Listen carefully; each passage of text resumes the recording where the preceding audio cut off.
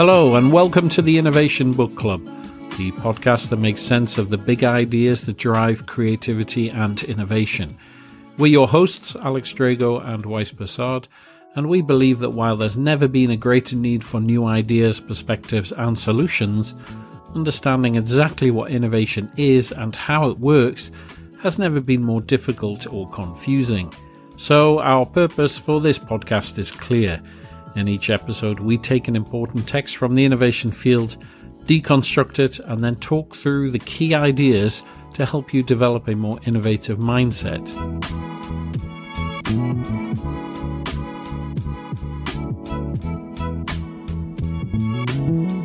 Okay, so this week's episode is uh, based around Peter Drucker's theory of the business.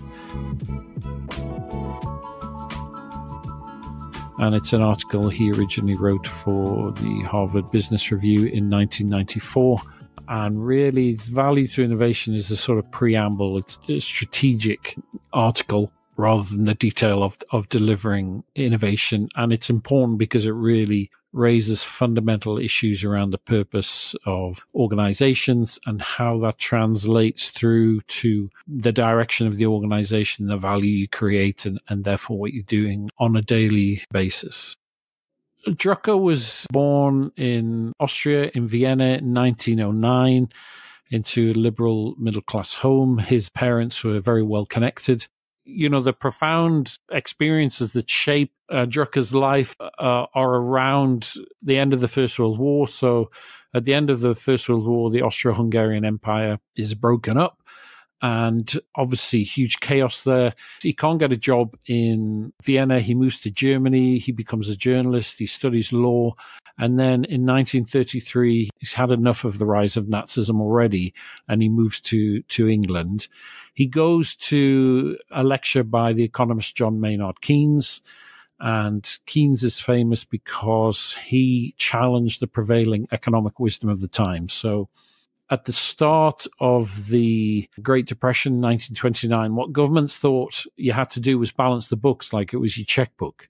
And so you had to stop spending, you had to raise taxes to cover the black hole, and so on and so on. And Keynes was like, no, that's nonsense that's not the role of government. The role of government is to stimulate growth. And how you stimulate growth is to borrow money on the markets and then spend it through public works.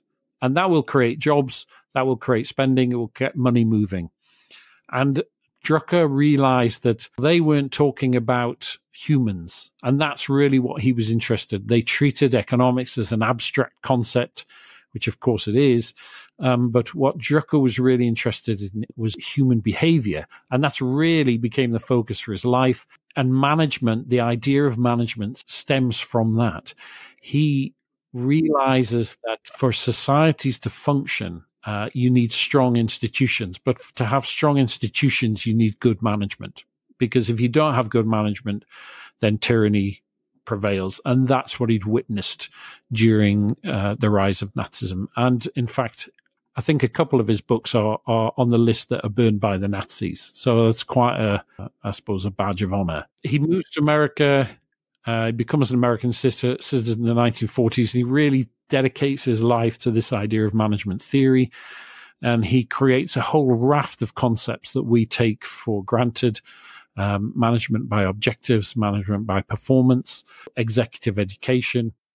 Really, at his heart, he was a sort of humanitarian his heart was in uh, making stronger communities. And he was the sort of perfect manifestation of his thinking. So he was a consultant, he was an academic, he was a researcher, he was a teacher.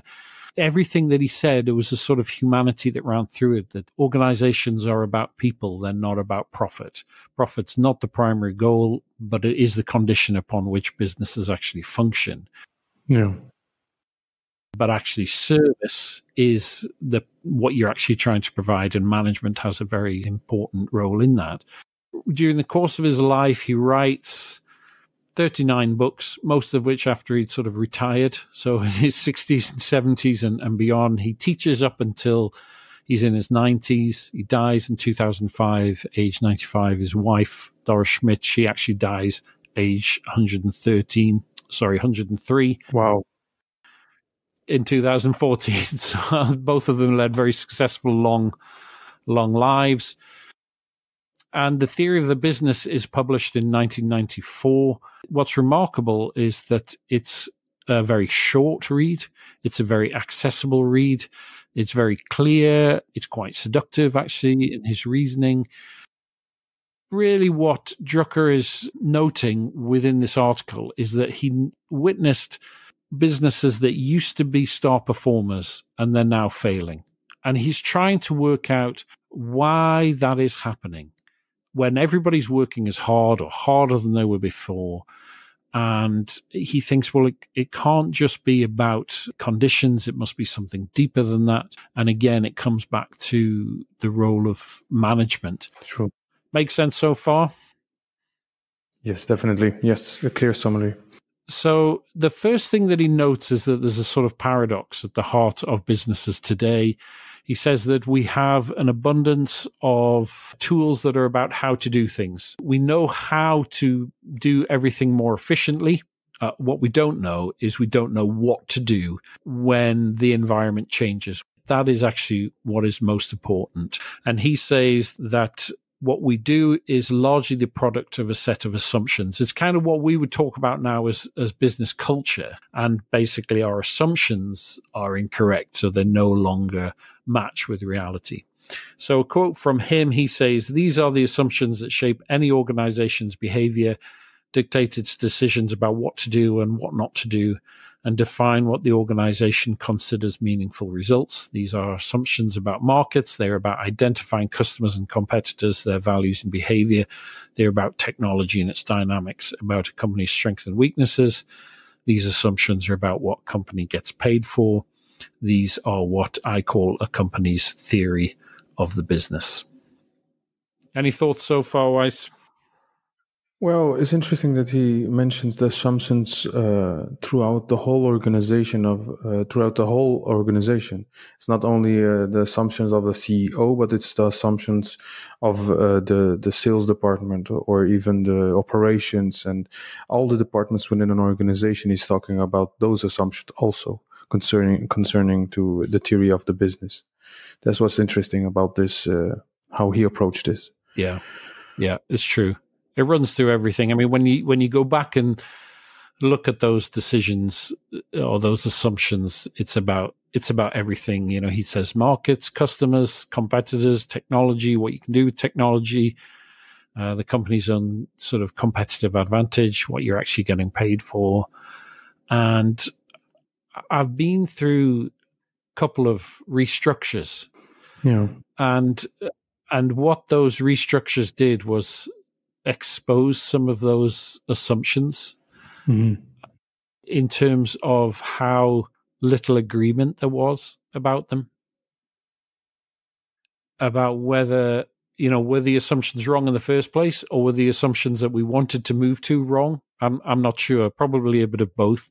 It was certainly a period of great uh, stress and confusion for people it's definitely recognizable because also in my experience, um, a lot of uh, many times there were managements, even if they started to question their assumptions, it was majority of time their assumptions, the assumptions of of of uh, two people or three uh, uh, executives done. It wasn't the assumptions about the people who run the operations, the people who run the finance uh, part or the or the logistics part. It was all, or even the the people who are related to the company outside of the company.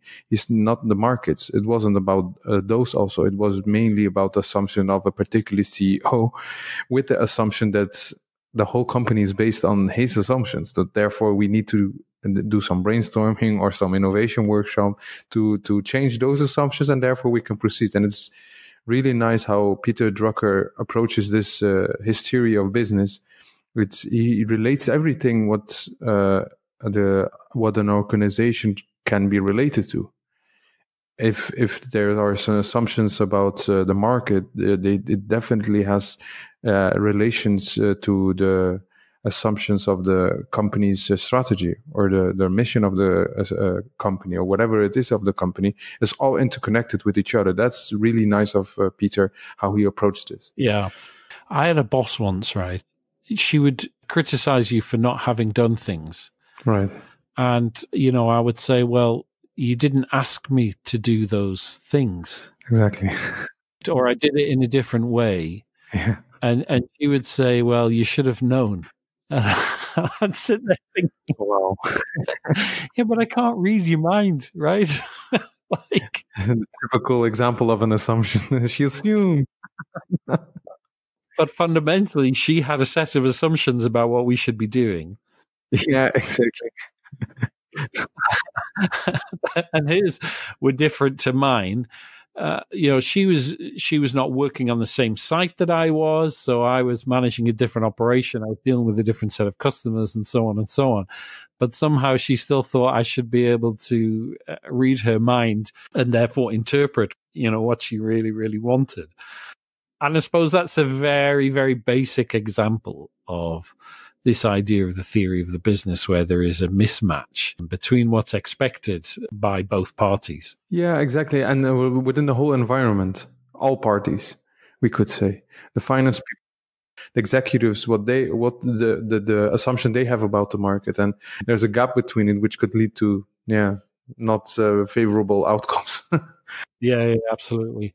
So, so Drucker says that every organization has a theory of a business.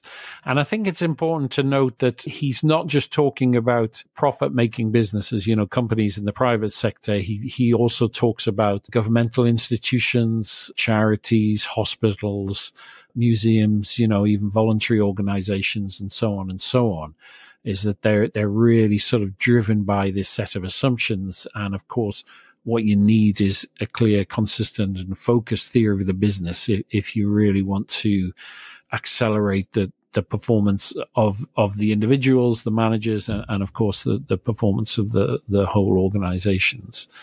True. So he gives a couple of, I guess they're slightly obscure examples, but they do sort of make sense. And he talks about the uh, uh Wilhelm von Humboldt, who founded the University of, of Berlin the the profound innovation there was that oh we'll get these people to do some research and then we'll teach them what that research is about. And it's hard to believe that that's you know that that was ever an innovation. But obviously way back in the midst of time uh, universities were essentially uh, part of a religious institution uh, but this example actually lasted for about a century until the rise of Hitler. And then, of course, the politics actually takes over. And during the Cold War, because it's in Berlin, it gets split up and so on and so on. Yeah. Um, but that's really the sort of theory of the, of their business. He also talks about Deutsche Bank.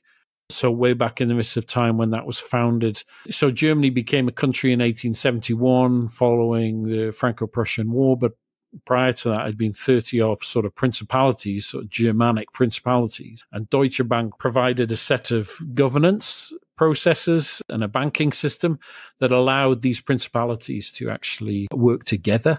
And that's actually what drove a lot of uh, German industrial development. And in fact, it carried on doing that. And it's only in the last 10 years or so since the financial crisis that it started to really, really struggle. All right. Yeah. One that we're more familiar with is IBM. So IBM started as a single use punch card system. Yes. Then they sort of developed the idea of mainframes and they thought that in the future, everybody would just plug into a mainframe and all the computing power would actually be centralized in, in, a, in a mainframe.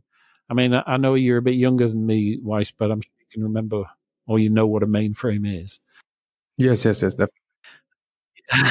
so, so for those visitors who don't know what a mainframe was, I suppose it's a bit like the processing power was so big that it had to be in one location, and then you had a lot of dumb workstations that could access that processing power. And of course, now it's uh, it's the other way around, right? That was the point. Failure in the 70s and 80s was that their theory of the business no longer held true because as Apple and others developed personal computers, it sort of shattered their idea of the theory of the business. Yeah, the environment changed. He also talks about Zeiss, which is a optical equipment and lens company, and their CEO at the time in sort of 1900 said the Kodak box brownie. Yeah small camera innovation uh, was was nonsense. And then a couple of years later, they actually have to then create lenses for other handheld cameras. Mm-hmm. The story, and I suppose in each of these cases, this underlying set of assumptions have changed. Yes, right. Um, I don't know if there's any others you can think of. Well, definitely, it reminds me of uh, Samsung itself. It started as a food uh, company, and now it's it's a huge from South Korea now. yeah, it's, basically around South Korea.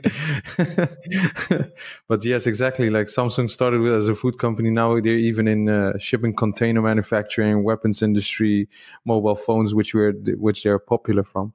But it's definitely a, an example of uh, the, the that's that's um, this business also had a theory of business and eventually changed completely to something else. Yeah. And it's interesting that uh, the theory of business, well, uh, the examples Peter gives, it doesn't matter what type of organization you start. It's based in the beginning on a on a set of assumptions, and in his example, he clearly shows that the change in environment or or or within a company or by uh, or with between customers uh, eventually resulted to a different outcome for the company or the organization you have created. So therefore, there must be something not aligned with the reality uh, uh, of the environment, whatever it is. So it really clearly shows uh, the undesirable outcome of of uh, of market changes or so on. So it's interesting. Yeah, and definitely Samsung reminds me, and other companies. I think the majority of startups now nowadays starts with a particular aim and eventually grows uh, towards completely a different uh, strategy or the completely different value that they deliver to uh, customers. He does raise conditions upon which you should address the the theory of the business. He breaks the theory of the business down into three parts. So he talks about assumptions around environment. You know, what's the society you're working in? How is it structured? You know, what's the market like? Who's the customer? What's the technology you're using? And he says this is what an organization is actually paid for. Right. And then he says there are assumptions about the specific mission of the organization. So, you know, what, what we consider to be meaningful, you know, what, what's the point of doing it outside of making a profit? Yeah and third, assumptions about the core competencies needed to accomplish that particular mission. So that that's you know what you need to be good at in order to maintain or, or to grow your your position within the market. Do you agree with those? Do you think they're a good a good standard? The the assumptions about the environment is definitely an an, an important one because in the exam previous example he gave, you could see changes in uh, our customer needs or the markets or the technology it changes and eventually the, the, the, company didn't perform as they assumed they would perform. So uh, i think definitely the first one which is assumptions about the environment is an important one. And the other one which he says uh, the specific mission of organizations. And also in i could uh, in the previous examples, he gave also uh, uh, examples of organizations which had a particular or a specific mission, uh, and eventually, by changes within an environment, society, market, whatever it is, it eventually it, it showed that their mission wasn't aligned to reality, and which made them also not perform as assumed and that's an interesting one. And the third one, definitely the core competencies uh, needed to accomplish the organization's mission is definitely important because um, any organization, the the uh, how it's structured eventually, definitely has a impact on how it uh, will perform eventually. And if it's not aligned with each other and with the the mission in, in its uh, whole as a whole, then it's definitely going to uh, create a gap between reality and and uh, and how they perform, how they think they would perform, which could lead to uh, to organizations not performing as as they want to, which also shows in his previous examples. It's really nice. It's based on all those previous examples it's interesting that he showed like this th- these companies have had uh, uh, started in this way they made a lot of profits and eventually something changed in within an environment or within their mission or in the way people believed within their organizations in the mission or knew about or were conscious about it so these are the three main areas which things happened which led them to not perform as they assumed uh, to perform. And it's interesting, however, you split up uh, innovation or indeed the business operation. You know, if you're looking at the constituent parts of a business plan or a business model, right?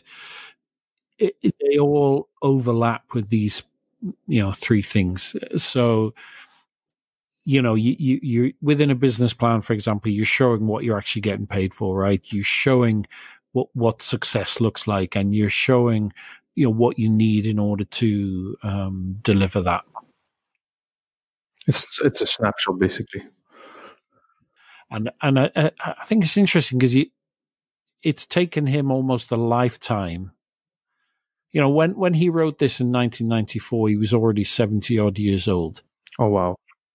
It's taken him a lifetime in order to distill this into something that's so apparently straightforward. And and that's what I always like about Drucker. It's it's like he's not really a, a, guru as such. He, in fact, he rejects the label of guru. You know, people get called gurus because people can't spell the word charlatan. you know, he says what what I do is not difficult. I just look, I observe, I, I you know, I think about it. But the kind of strategic view that you need in order to come to these three particular conclusions and tie them together into a unified theory I think is profound. Yeah, definitely. I agree with that. Why? Because I remember strategy um, workshops uh, at several companies I worked uh, with or in, uh, where they mainly focused on how to create new products or new services, how to change the business model. And Yes, it was based. It was they considered definitely the changes within a market or something. I have never experienced a conversation or a thought process between executives or about uh, or what are the assumptions we base our strategy, base our business model, base our uh, operations on doesn't say here like uh, the important part of the theory of business is the business model. You have to define it. You have to create a mission or a vision or whatever it is. It says it goes deeper. It goes i think in a level deeper like okay whatever you uh, you write down as a mission vision or a business model or whether it's a business model canvas or whether it's whatever canvas it is it's based on a set of assumptions which is not only between uh, a handful of individuals on an executive level, but it is based on the assumptions between all the people within the organization, outside of the organization, in the environment. All those assumptions are w- which makes basically the company perform. And the the cha- and it is interesting that he goes on a deep on the I, don't know if it, if, if there is a level deeper than that, but it's definitely a level deeper than what what I used to think about as businesses in terms of business models, putting a business into a model or describing what the mission, vision, or the strategy is. It's really interesting that he goes a level deeper and shows that the companies or the performance isn't only based on the models we know, but it's it's more humane and it's based on the human part of it which are the assumptions we base our thinking and thought process about those models and strategies.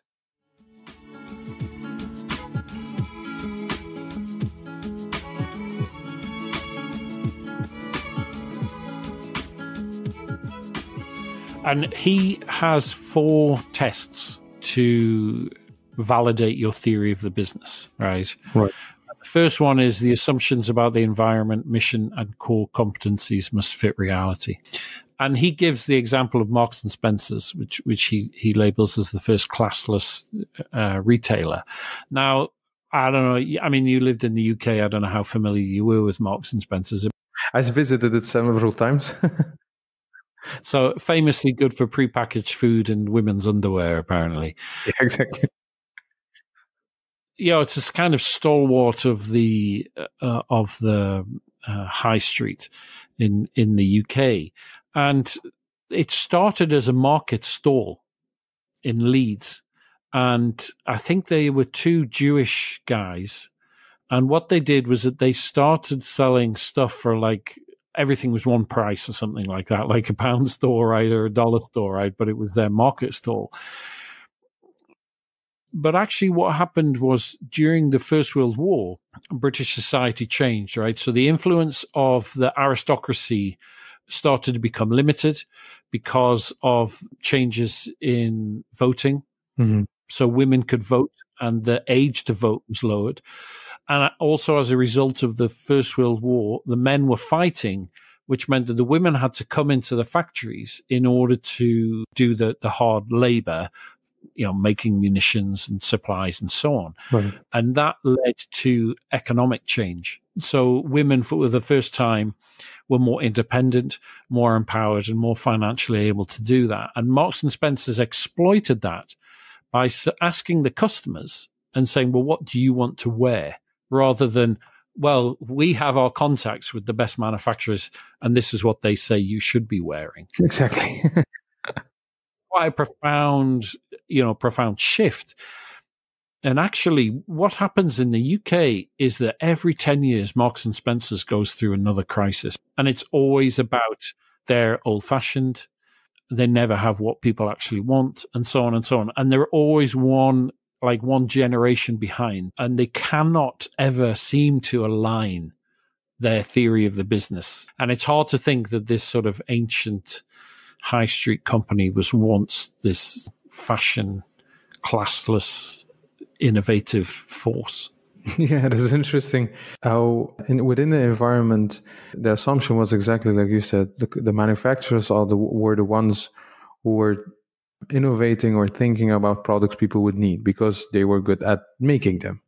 There was the, the, the, the basic assumption which Marks and Spencers, or probably the whole environment within the UK, were based on. Okay, we are going to some manufacturers, we're going to buy some a lot of products as a wholesale. The wholesaler will sell it to retailers, and they would assume, okay, these are the new products probably, or these are the new trends, and they would sell it.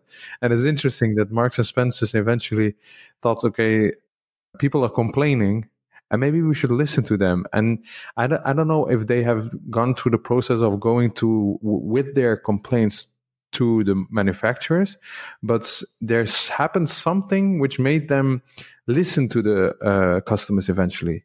Like it doesn't work. It doesn't work. The the uh, that's uh, the fact that they just pro- brought, bought products from uh, the manufacturers didn't work eventually, which forced them to think about well, maybe not specifically consciously about their assumptions, but they make them uh, listen to the words the uh, customers, which eventually is basically the uh, questioning their assumptions. Okay, now we're used yeah. to going to the manufacturer. Now we're going to listen to uh, someone else.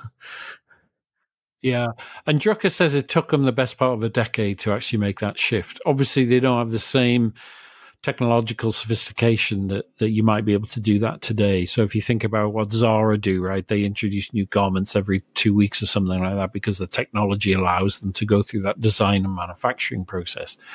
But the, uh, at the the start of that was was Marks and Spencers responding to changes in the environment and then realigning the organization uh, to take advantage of it even if they would have the uh, the technology Zara now you have has, I don't think Marcus Spencers would have been able to uh, achieve uh, achieve what they've achieved after the decade. I think it's it's also based, of course, on the technology they had, but I think it's also based on assumptions that their suppliers, their wholesalers, their manufacturers had, and uh, probably their manufacturer were used that used to uh, used to receive orders from from Mark and Spencers instead of questions or an inquiry about about a new garment or a new underwear of females. Like instead of asking the manufacturers, "Hey, manufacturers, what are new new products you have developed?" Now they're going to ask, like, "No, manuf- it." I understand why it took a decade because they were probably uh, uh, working with thousands of suppliers which mm-hmm. they all approached suddenly differently. Instead of or- ordering products, they started placing orders how they should operate. Absolutely, yeah. Well, that's a shift in the in the relationship. I can't remember what the models for, but I think we did actually study in that. Actually, instead of the industry shaping what the final product looks like, it's actually the, the intervention by a company that exactly. actually shapes how the market functions.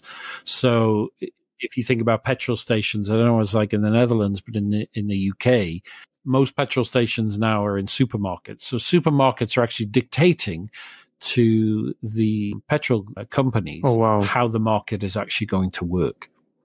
That, ne- that never would have actually happened before. And so I suppose it was the same with Marks and Spencers that they had built up presumably uh, enough demand to say that do you know what this isn't working well what we want is something different and it's going to look like this from now on. That's probably why it took so long because i imagine in the 1920s everything moved a lot more slowly than it uh, than it does today. Yeah true true.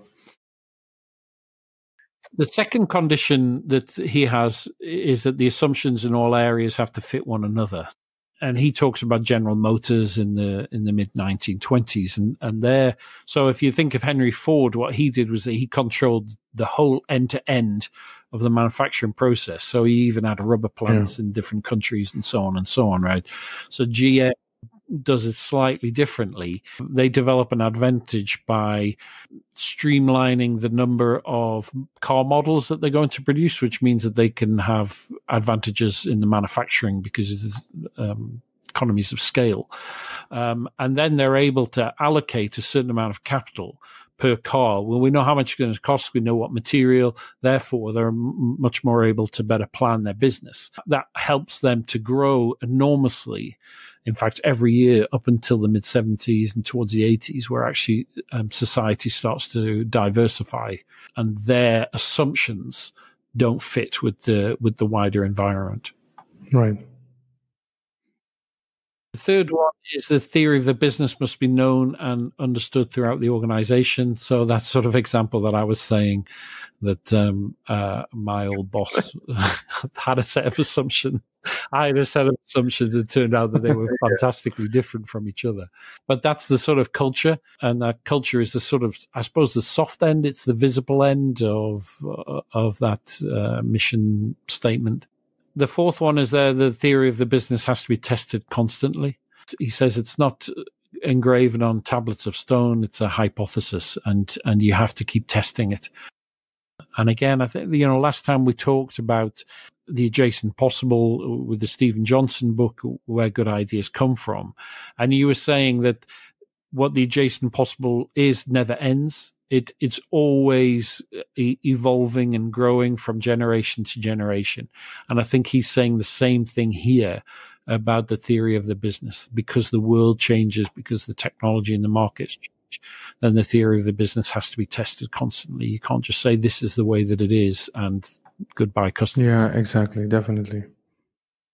Yeah, society, markets, customers, technology, everything changes. And if a company doesn't test their assumptions, it will provide solutions or value for the customers doesn't exist anymore. Could we say they changed? You know, if you think of the the big businesses that have have failed, it, it is because the theory of the business it no longer fits reality. Nokia. Tell us about Nokia then. Well, Nokia eventually had a theory of business wasn't smartphones and eventually when the smartphones took off and yeah well they treated themselves as the holy grail company who had the best solution for communication whatever. And eventually they didn't they didn't look to their assumptions uh, in relationship to the changes in the environment and the customers by the customers and the technology which was rising which eventually led them to go, almost yeah go bankrupt completely. And but they weren't anymore in the telecoms market dominant anymore and also I think it, uh, it was the similar case with Kodak. Yeah, and their their assumption is that photographs were to be printed out and shared. You need a physical copy of the photograph, and actually, the paradigm shifted is that you share it because the technology on your phone allows you to share it. Exactly. Yeah, and the interesting point within these four specifications of the theory of business of uh, Drucker is that it says as if companies uh, create a product or a service, they're outperforming other companies, they become a leader, and suddenly they assume that this is the solution for a particular problem, and they assume that this is going to be the solution for the upcoming hundred years or something. This is the holy grail product, this is the holy grail service. And on one side, if I'm now talking about it, I'm like, that that sounds crazy because if I would make a product, I wouldn't say that this is a hundred years the, solution for a particular problem.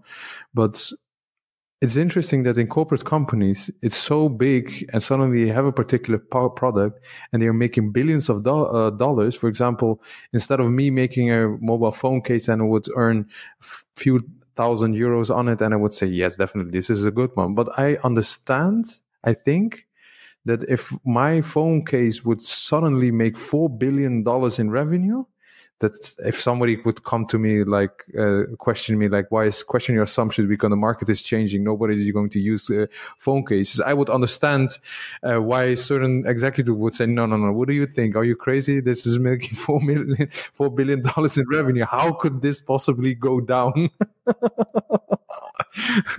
but historically peter drucker and also uh, if you if you if you read online to other company stories if nokia kodak whatever it is it clearly shows that it doesn't matter how much uh, how successful you are it's it definitely you have to question your assumptions because it doesn't uh, stand uh, it's it's not how do you say that?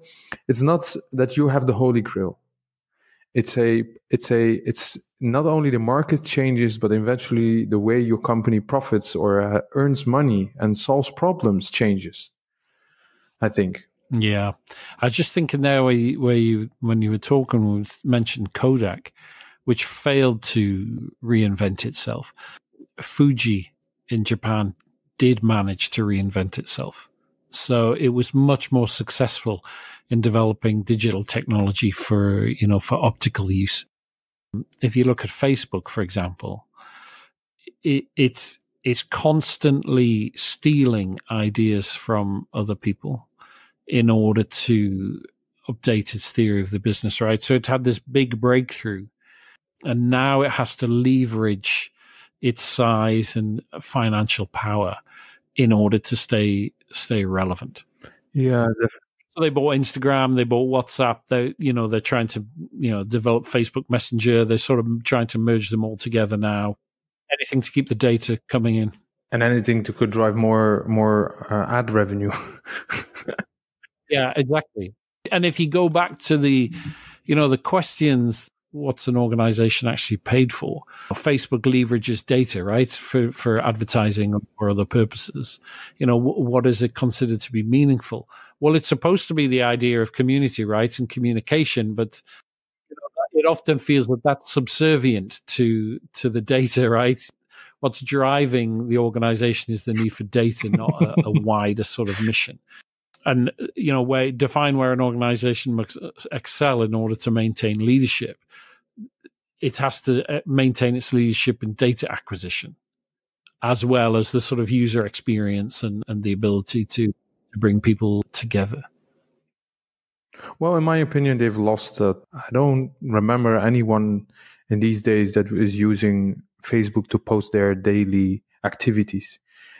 If they do i don't look at it Exactly. That's the second part of it. Uh, uh, why people are not using it anymore. And the use I see for Facebook now is is for the news. It's it's really fast in spreading news, and that's the majority of people around me are using Facebook for. And and exactly like you said, they're acquiring so many other companies use those tools to increase uh, the revenues of their cash cow, which is the ads revenue.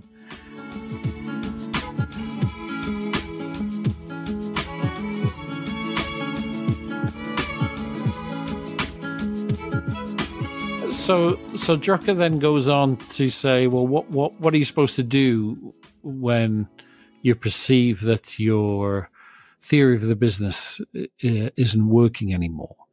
And he says that the first thing that they do, that companies tend to do, is to defend themselves, and they typically do that by sticking their head in the sand and trying to pretend that nothing is happening. It's, uh, it'll be fine next quarter or next year. Or, the next reaction then is to patch it up, you know, and, and just sort of splice in bits and pieces and so on and so on. But he, he actually said that what you have to do is take preventative measures. There's only two of those. You either abandon your current theory of the business, so you actually really conduct an internal analysis. And then the second thing he's saying is that uh, to study what goes on outside the business. So you're reaching out into the wider environment, you and you're looking at non uh, customers because most innovations don't happen inside your business; they happen outside in the wider environment, and you need to be plugged in in that in order to find out what non-customers are doing, so you can actually uh, learn from them. And he gives the example of Walmart, which is a retail powerhouse in, in, in America. But even in its sort of 1990s heyday, it, it only had about 14% of the market. But actually, if they'd looked at non-customers, if they'd looked wider, they would see that you know the future was in, in, Amazon. And now they're actually responding right to Amazon. They have their version of Amazon Prime and, and you know rapid delivery and all that sort of stuff. Basically, they had to look at not the the 14% they are, were focused on, but on the 86% they weren't focused on. As why were are they not our customers, which Amazon did?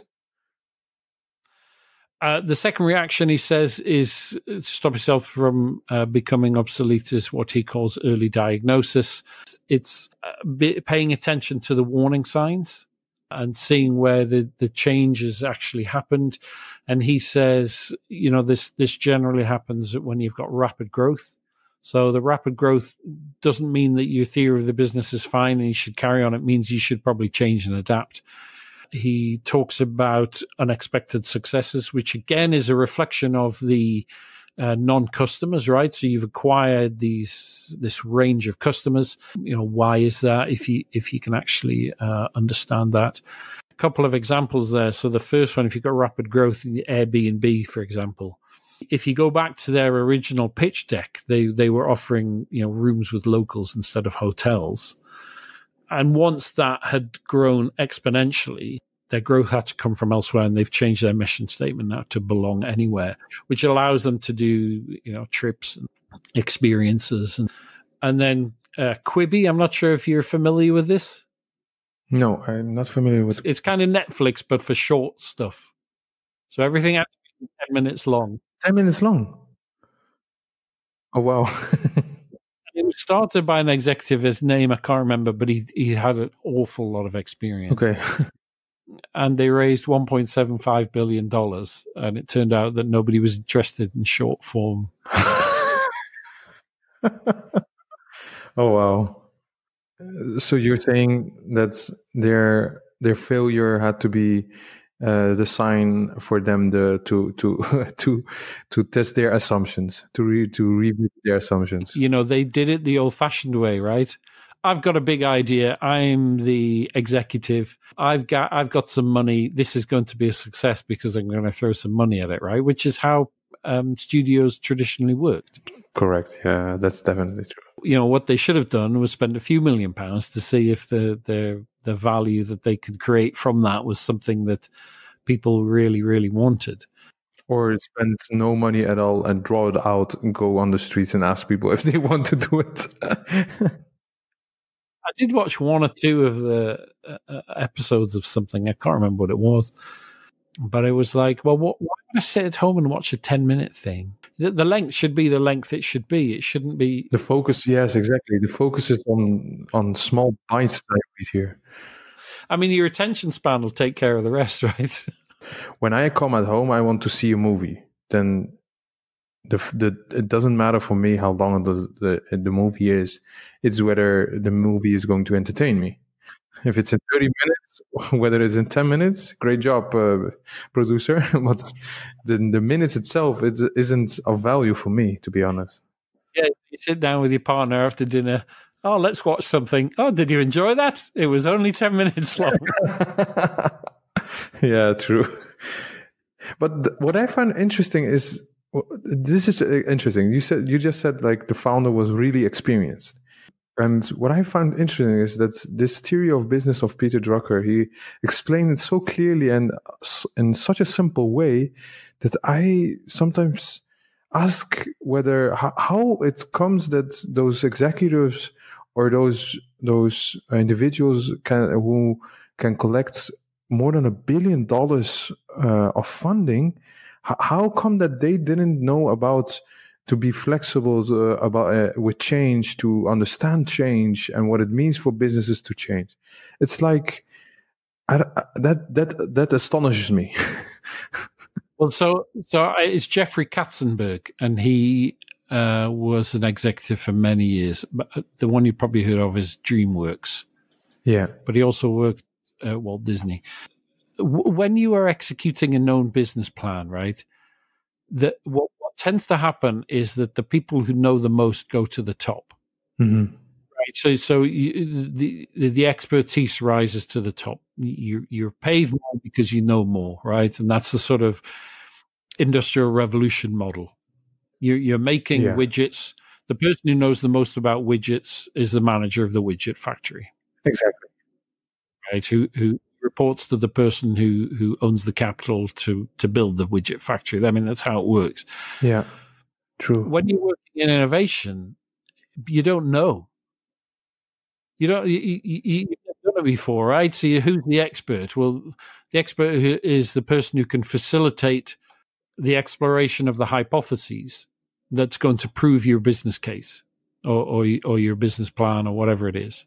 Exactly so the, the what what Jeffrey Katzenberg you know the fundamental mistake was I'm executing what I know, and he, and it turns out he wasn't because the ten minute short form thing is different to a ninety minute animated movie with a business model based around uh, cinema release, DVD, you know, rental, and you know, or, or digital rental. Yeah, it's interesting that uh, if you're going to be an expert, you will you will probably grow on the hierarchical ladder of an organization, and eventually you will become an expert in a field. And Katzenberg was probably an expert in producing or or facilitating the production of movies or good animation, whatever it is, uh, DreamWorks and Paramount Pictures, the movies itself. And eventually, if he had a lot of successes in those uh, those companies as an executive, would he assume that he would find himself an expert in innovation within this industry? Would he uh, say such thing such a thing? Like i am uh, an expert in this field because i have led several companies uh, successfully earned a lot of money for the companies uh, made it so i've met the customer needs in, a, in the best way. Therefore i'm going to i have an idea and this idea is is a good idea which will probably lead to a lot of revenue because i'm an expert in a field. But exactly like you say it's an innovation. It's completely uh, something different and new. Well, the value proposition is completely different. You, you know, you, you go to the cinema, it's less about seeing a movie and more about spending quality time with your partner or your family, your friends. It's about relaxation or entertainment, entertainment right? Yeah. Yeah. And so, whereas a 10 minute short form thing, right? What's, well, what's the value proposition? It's not about spending quality time with your partner. It's certainly not about spending time with your friends, right? it's maybe a little bit entertaining. But, and, yeah. but the the fundamental mistake he's made is to think that they are the same value proposition. Exactly. What I, what I need to do is to be able to get enough money in order to create some content and that content gets actually distributed.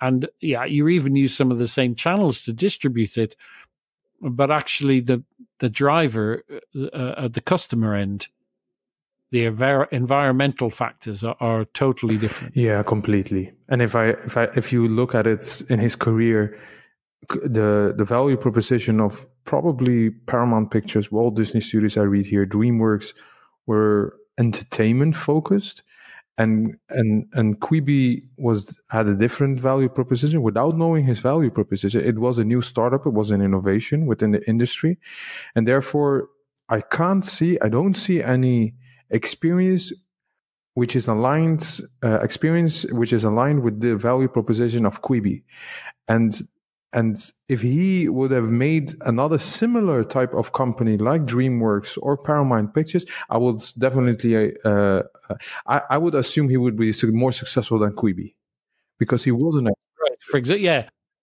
1.75 billion pounds, I'm going to start up a new animation studio. And you'd be like, great, we can expect half a dozen great movies because that's your track record. Exactly. Uh, on the same value proposition. I mean, this is totally different. The fundamental confusion around it. Yeah, exactly. And he this shows again that the Katzenberg had also created a new startup with the same assumptions. Right. yeah, but it's just but it's different. Wrong assumption. It's completely theory different. of the business. Right. yeah. yeah, he plotted the theory of the business completely in a different different For, forgot he wasn't working in, in a in a traditional studio. exactly. That's interesting. it, it proves Drucker's point because he goes on and says that you know the cure for uh, when you need to change the theory of the business is not to hire a genius, supposed genius or charismatic leader. It's about hard work, right? It's about being clever. It's about being conscientious. It's what CEOs are supposed to be paid for. exactly. And in Katzenberg's case, it's like I've clearly, I, I don't doubt he worked very hard and, and very conscientiously, but but he, he was uh, working in the wrong direction, which is you know the point that that Drucker is making with the theory of the business. Yeah, completely. He t- exactly this, this the, exactly the case. Like he argues, uh, Peter, like the Genghis Khan and the Leonardo da Vinci in the executive suite, and therefore, if I am the Genghis Khan or the Leonardo da Vinci, and therefore I'm able to do also successfully new things. And I, think Drucker says something like, you know, management or leadership. It, it's not based on what you know. It, you know, that the, it's based on a different set of characteristics because it is based around these ideas of what's the theory of the business? What are we getting paid for? What what do people actually want? What core competencies do we need to actually do those? Those are skills based on observation and analysis, not on I know the most about X. Yeah, definitely. I agree with that. And and he he also writes about the human part, which he says that it's not exactly like the Leonardo da Vinci. It's about that organizations are interconnected with each other. As he says in the specifications that the assumptions about environment, mission, and core competence must fit reality. He's also said that the, the all these uh, assumptions has to fit one another, and and then and the specific mission of the of an organization, which is being carried by the whole all the people within an organization, has to uh, be tested, and it shows clearly that uh, his, with historical example he gives at the companies that it doesn't matter what type of organization you have now and what type of solution or what type of problem you are solving now. It whenever something changes, you, it, it sh- they should understand that the organization as a whole has to respond and not the individual CEO at the top. The whole company is now solving a problem based on several assumptions and the environment changes. Therefore, the whole company has to move towards those new uh, changes. And exactly this, this is the same case as Quibi or whatever Kodak or whatever the uh, IBM or all those other examples. The whole organization, certain the, the, the companies who were successful moved the whole organization The companies who weren't as successful, like Nokia, Kodak, yeah, the executives they they had assumptions about the industry, and therefore they didn't change the whole organization, and therefore they were not the leaders anymore in the industry, in their industry. As you know, I work a lot in museums, and trying to get museums to understand a the idea that they're a business right? That the amount of money they bring in has to equal the amount of money money they spend or they're in trouble right? That's also a problem right from the start. But i've tried to explain to to people in museums if i want to find out about a subject the last place i'm going to go to is a museum the first place i'm going to go to is google or youtube the last thing I'm going to do is I, I, want to find out about the Romans. So I'm going to pop on my coat and I'm going to spend three hours in this museum and learn about some stuff, right? And see some objects, right? And people just don't get that. And what I keep saying is that the the idea of the museum as we assume was one that was established in the mid 19th century when state education wasn't available. So where do you go to find out about the Romans? You have to go to museum because it's the only place you can you can do that. Nowadays, that's not the case. So you have to stop thinking of yourself as an encyclopedia and start thinking of yourself as, as something else. The, the challenge with museums is they've managed to convince themselves that they're special and that what happened in the 19th century is so special that it has to be paid for in the same way and delivered in the same model in the 21st century. Yeah, they have to reinvent their theory of business. It doesn't fit the reality, current reality. No, And I, and I think that's why the theory of the business is so useful wherever you're working because it's about how you interface with the external environment and then how you reconfigure yourself to create value within that environment that's its its universal application or its its universal its universal benefit.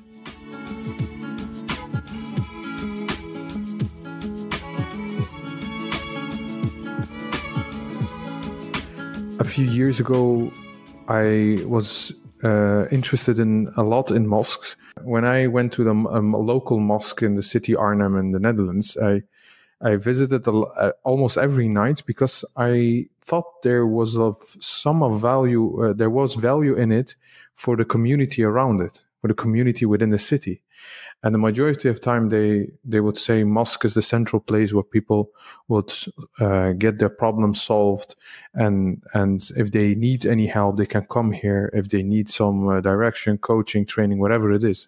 And that attracted me and that motivated me to visit it.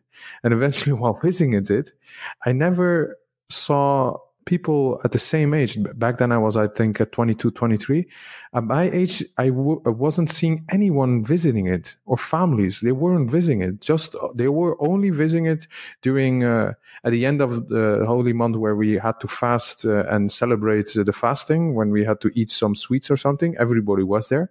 Or when we had some uh, party everyone would visit it. Um, but eventually I started questioning it, uh, questioning uh, the purpose of the mosque uh, with the elderly that were in charge of managing the mosque, and they weren't pleased. I said, "Look, guys." I remember exactly based on this theory of business. I, I, said to them, "What is the purpose of the mosque?" They would say, "It's a it's a place where people could pray. It's a place where people would put solve problems." That would I would question as an analyst, yeah, I literally asked, okay, could you tell me how many problems and what type of problems you solved in the previous year? And and they literally weren't able to answer me. And eventually I I I thought I I questioned them and I even proposed like guys, if we are telling people and asking them to donate money to our mosque to make it sustainable so that this place can exist, uh, therefore, we have to think about uh, to give them something in return. If we are promoting the mosque as a place where they could solve their problems, let's just start with solving problems and let's just start giving uh, uh start giving them uh, or facilitating the space for people so they can feel at ease if they have a problem to come to us or to come to the place but eventually it was written off and they didn't like my comments or questions. And i to be honest i got demotivated. I got demotivated because they because they want to have uh, they want they wanted to, to keep the same purpose uh, the mosque has the same purpose in the previous 1400 years and it still has the same purpose. Why it's, well i believe when some organization whether it's a mosque or a place calls itself the central point of a community then it has to serve the community and it comes exactly uh, like the Peter says. Uh, the theory of business had to be reevaluated. I, I, don't know what it's like historically in the Netherlands or indeed you know in the Middle East, uh, and and how mosques were used, but in in Britain, for example, um, historically churches did solve people's problems so that they they would because they were pretty much self-sufficient they had to be self-sufficient yeah. right they would grow produce and they would sell it so there was a sort of market there they would also provide welfare right so if you were unemployed not that we technically had unemployment but if you were poverty stricken uh, you know, several hundred years ago, you, you would actually go to the church, and the, and the church would help support you. Exactly.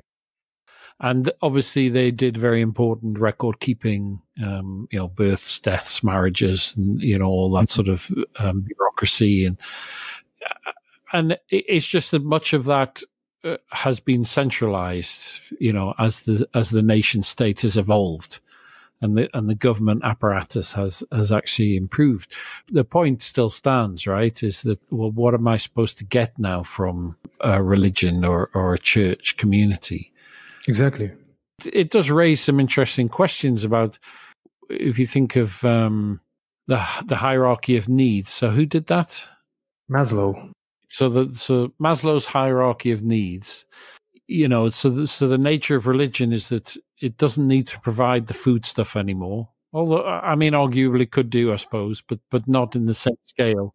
It, it, as you move up that that hierarchy of needs, well, it's not not providing shelter, right, or safety, or you know, actually, how are you helping with the top model of self actualization? I think that's what you're getting towards. And I suppose self actualization in that context is about a thriving community. And I guess your point is that they're not sufficiently well tuned uh, to be a, with the external environment to realign themselves. Exactly.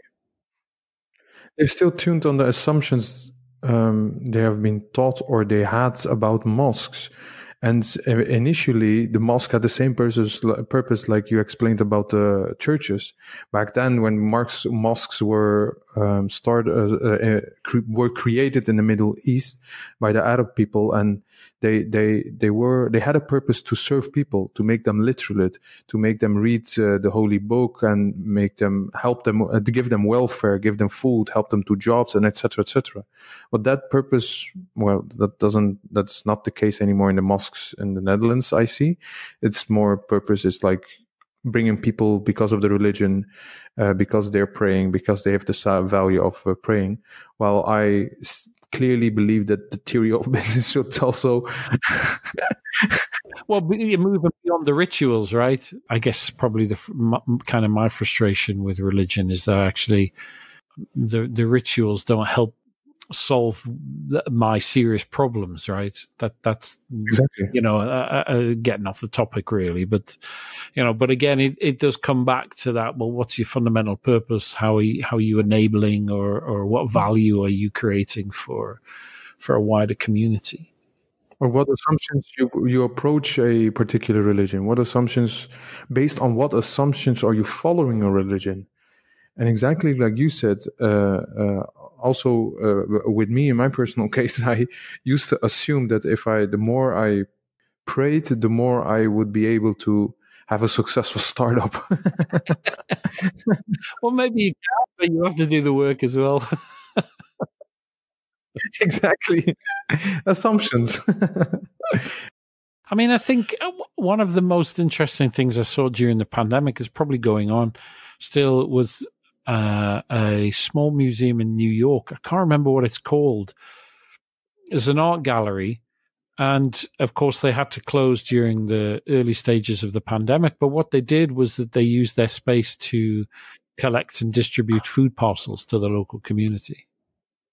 Oh, wow. You know, so so, the, so for you know, maybe they won't do it permanently, maybe they will. I don't know, but um, th- what they did do was realign with the with the environment and say, well, this is this is what the environment needs. This is the value that sort of customers are looking for. We have some core competencies that match that, and for this amount of time, we're prepared to um, reinvent ourselves uh, to support the local community. Yeah, that's interesting what you said. Like the art gallery, I, it would be interesting to understand their thought process. Like the art gallery is going to close, it's the pandemic, everything is going in quarantine or lockdown. And suddenly they probably thought about, okay, our purpose is to provide art pieces or information about art pieces to people to inspire them. Okay, that the environment is changing. How could we change to meet the the the the changing needs of people in the, within their environment? And people would literally, like you said, in the during the pandemic around the world, people would would focus only on food and their job and and basic needs, basically. So it's beautiful how to see how the art gallery repurposed them by by questioning their assumptions about their assumptions, which were based questioning their purpose based on the assumptions they had, like the art gallery is the art gallery, therefore we are going to stay art gallery. No, we're going to change based on the, our changing environment. People need food. yeah, and I think it's a very that's a product of probably some very insightful leaders who who recognize that the purpose of culture is beyond culture. It it touches on a on a on a deeper human need in some way in order to uh, bring communities together, shared beliefs, shared values, or whatever. And actually, the, the imminent need within that community is not to you know, be socially controlled by going through an art gallery and being told about the importance of modern art. You know, it was like, well, we've got struggling families, uh, uh, and the best way to serve them is because our space is in the middle of the community, and what they really need is is you know nourishing of the body rather than of the soul during this particular period of time. Well, you mentioned leadership, and I'm curious during this situation, the, the pandemic situation, how would it look like if uh, organizations uh, which are now closed would understand the theory of business and would question their assumptions, try to change and uh, change according to the environment. That would be interesting if they were using this. They could use this theory of business. How would it would look like then? I mean, I suppose for most businesses, I don't know, or for a proportion of businesses, they're, they're trying to adapt as well as they can. They're doing instinctively. They may not have had workshop sessions and so on and so on. They probably worked it out as they went along, right? I think what's what's been interesting for me to to watch this kind of wider museum community is that the first response was we're special, we're culture, you've got to give us some money or we won't be able to sustain ourselves, right? Which I suppose is fair enough. Yeah. What's been much slower to evolve is a a deeper understanding of how culture can play a role when you're not able to visit a museum or an art gallery. The digital responses have been I'm just going to film this person walking around the gallery giving a tour. and the, the basic assumption is that people are sitting there at home thinking, I really want to go to an art gallery and have a tour. They're probably not. They're thinking of something probably quite different uh, they probably want distractions. They perhaps want something encourages greater reflection because people have been reflecting more deeply, I think, during the pandemic.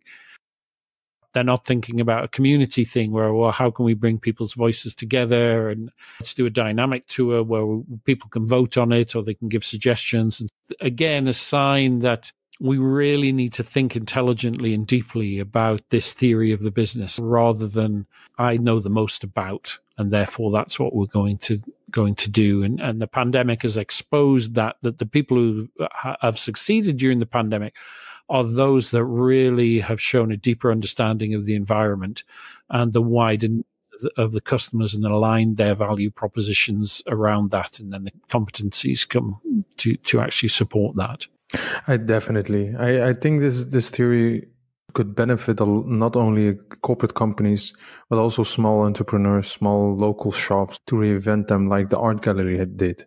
I remember during the start of the pandemic that an ice cream uh, seller in the Netherlands started changing his uh, business completely into a uh, hand soap business because he said the demand of hand soap is is exploding. So I have the machines. I'm going to repurpose it for hand soap. that was interesting, and it's definitely I agree that the the environmental changes in now, especially the pandemic, forces people to think about new revenue streams.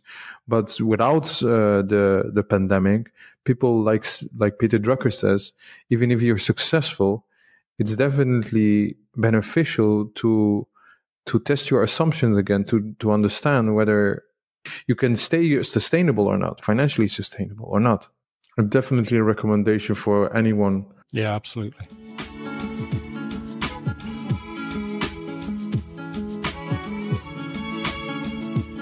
I mean, if we look at some of the bigger examples, I made a few notes. Uh, Microsoft Windows is a, is a really good example of how they've reinvented their theory of the business several times. So in the early days, they just provided the operating system, right, the, the, to the IBM PC clones. Then they developed Windows. And then they decided that everything had to be through Windows.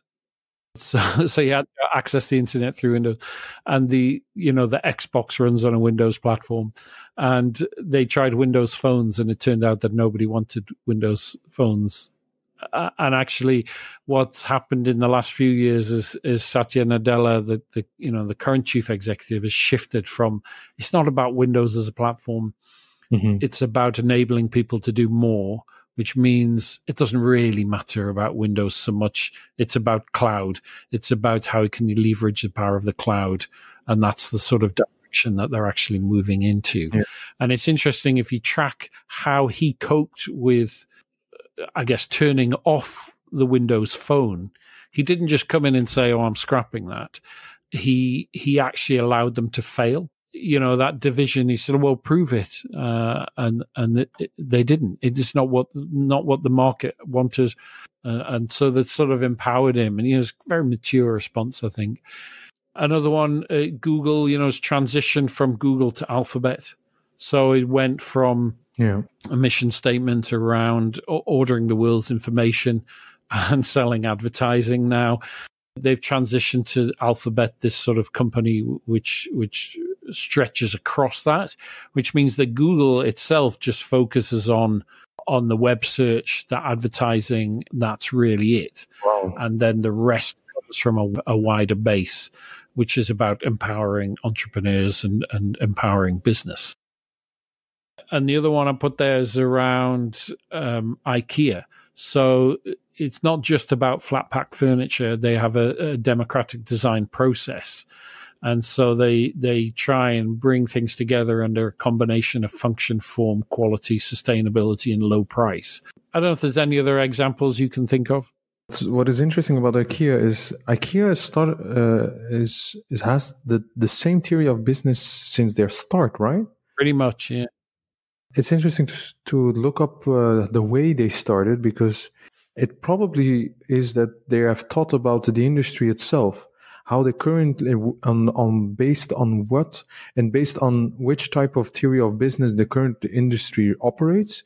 And they will probably tested those assumptions and eventually like the environment is changing the theory of business and within the within this industry is is is is completely something else so and therefore they have created eventually the, democratic design as their uh, as their focus which is completely aligned with the current needs of the of, of the environment, obviously because they're growing still. he was a bit of an odd character, the, the, the guy who started it. He was responding to the environment.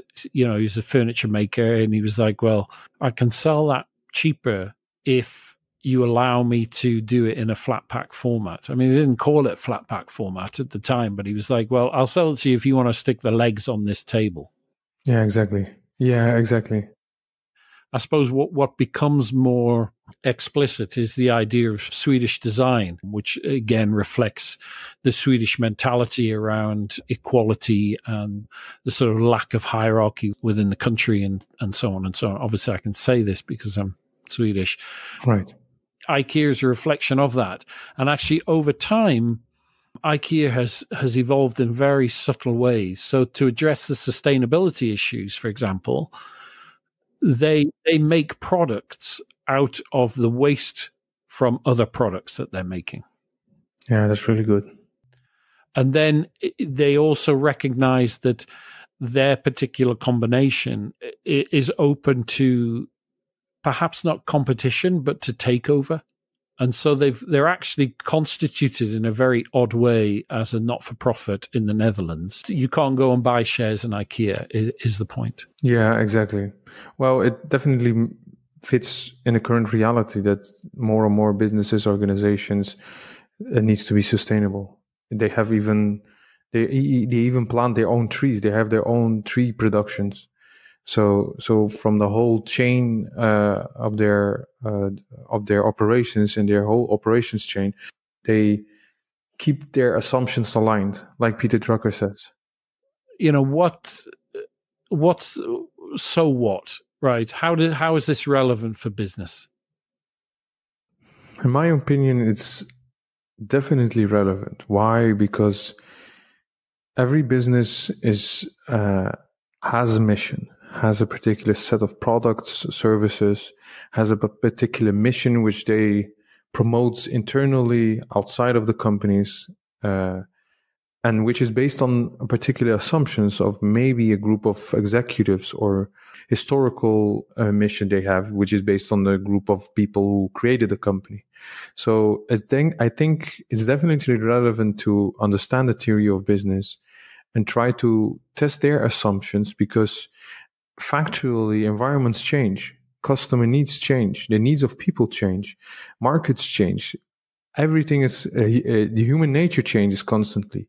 Therefore it's definitely crucial for an organization to based on this theory of business to look at their assumptions and look to their internal operations and like peter drucker said like to the markets all those disciplines dimensions departments people who are related to the organization look to all those assumptions and try to test it, whether it meets the current reality, in my opinion.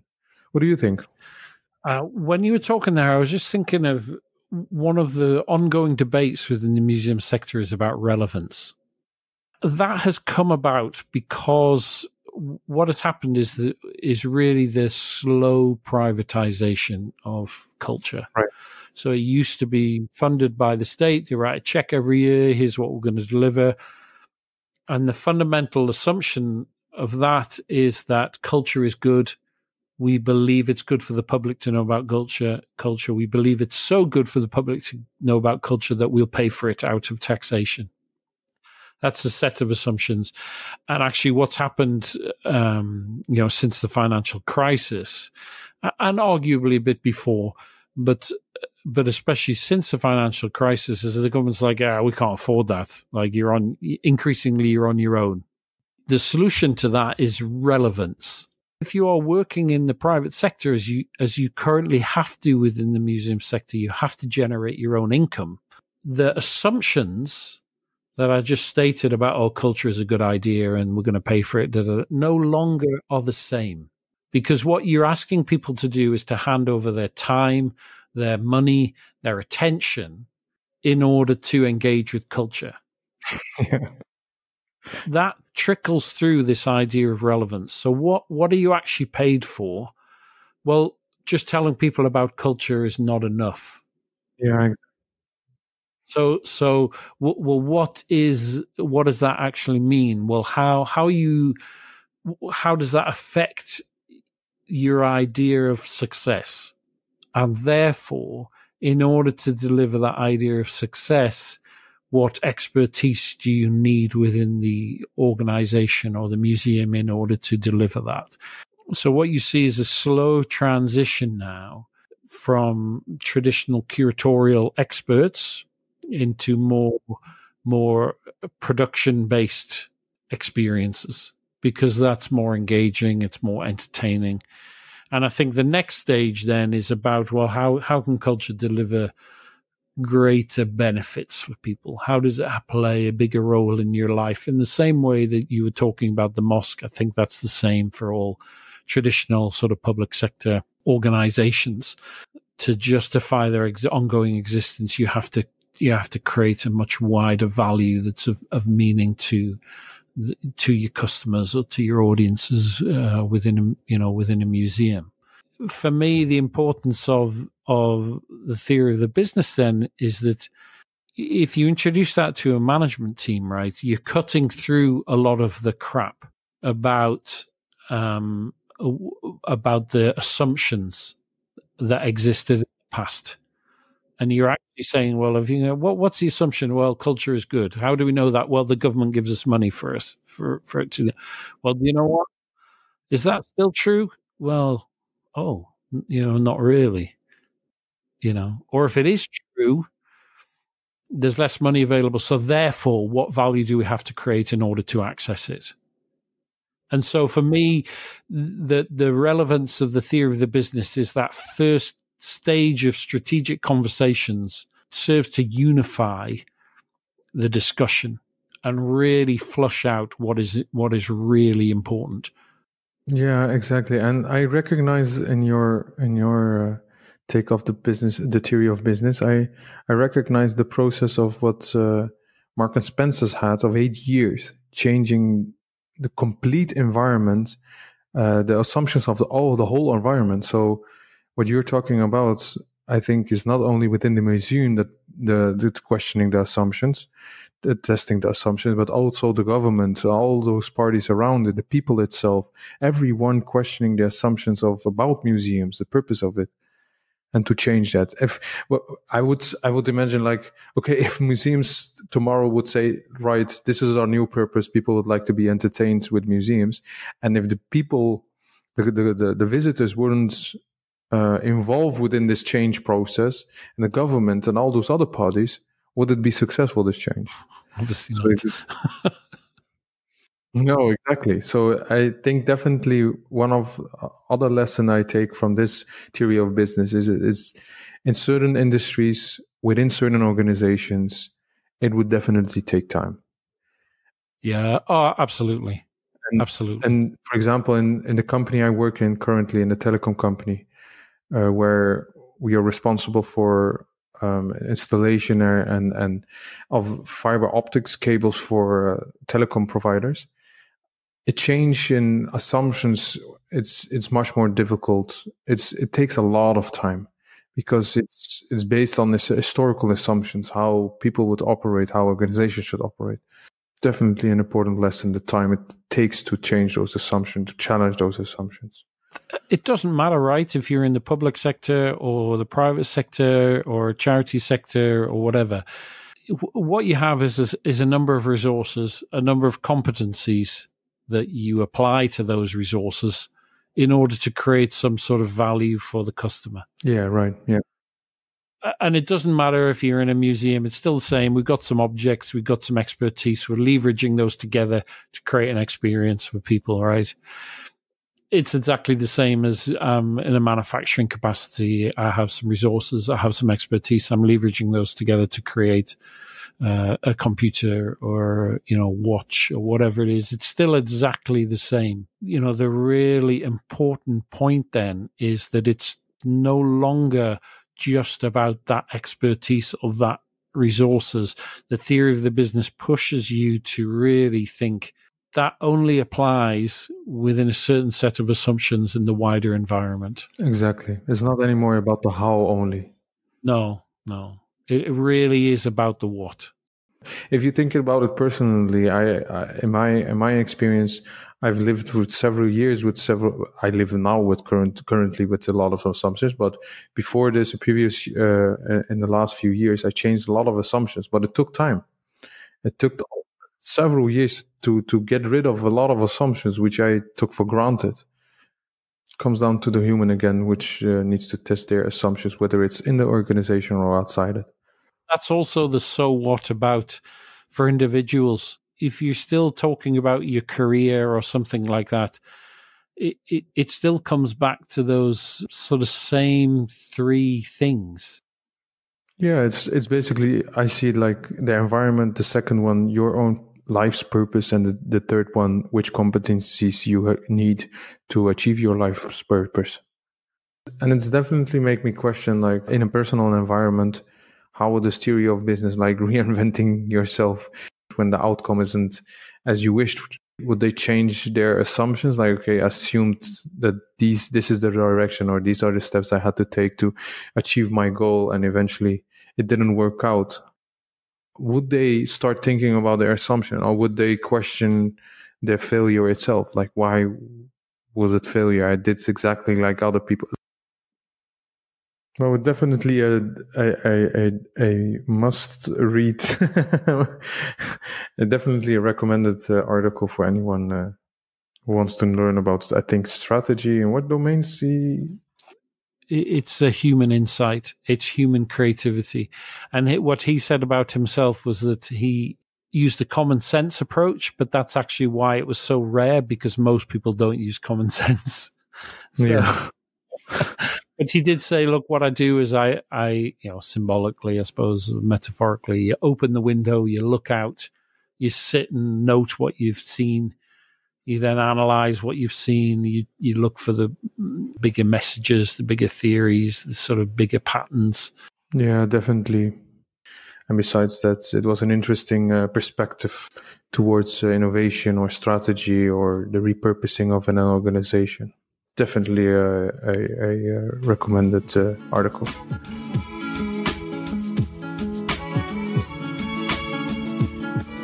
Hi, Alex here. I'm back to close out this episode of the Innovation Book Club with a few prompts and questions to take your learning further. Before we start, however, here's a quick note about why we're actually doing this. We believe that the value of learning is not in knowledge acquisition, its value lies in the reflection process. When you judge the value of the knowledge that you've been exposed to, you understand how that analysis changes your view of the world, and then ultimately, how that knowledge and understanding increases both your capacity and capability to engage with and shape the world around you. So, to that end, what we've done is we've come up with a few questions to help you reflect on what you've just heard and to try and push you on with your own innovation learning journey. So, here they are. Number one, what is the theory of the business for the organization you're currently working in? Number two, in your opinion, what are the assumptions your organization gets right and gets wrong? Third, and finally, what are you working on fruitlessly?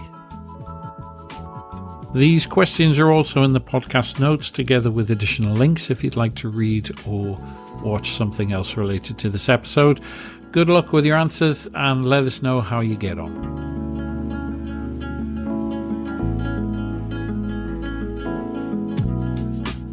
Thanks for listening to this episode of the Innovation Book Club. If you've enjoyed this episode, then you can do three things to help us grow our audience. First of all, please leave us a five star review on your podcatcher of choice. This helps to feed the algorithm. Second, share this episode with your friends and colleagues if you think they would benefit. And finally, if you'd like to listen to all future episodes of the Innovation Book Club as soon as they're available, then please subscribe wherever you get your podcasts. In the meantime, take care and we'll be back soon.